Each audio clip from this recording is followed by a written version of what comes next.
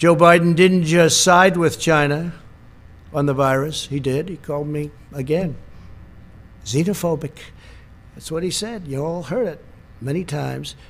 He described the rise of China as, quote, a very positive development. Not a positive development. Not for us, it's not. He said that the idea that China is our competition is really bizarre.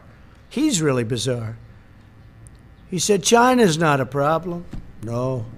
Nobody's ripped us off more than China over the last 25, 30 years. Nobody close. And he says, China's not a problem.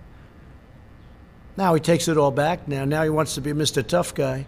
But for years, 47 years, he never came out against China, never said anything bad, just the opposite. Indeed, Biden expressed more fawning praise about China on an ordinary day than about America.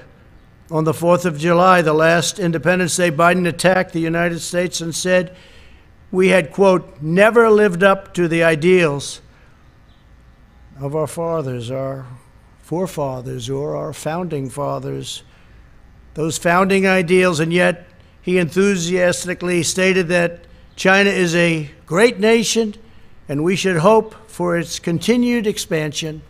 Well, we all wish well to China, but what China's unleashed on the world, it's, uh, it's hard to even fathom. I see people now, friends of mine, they walk up, they want to say hello, and they have to keep their distance, and they're all covered up like you're all covered up with face masks.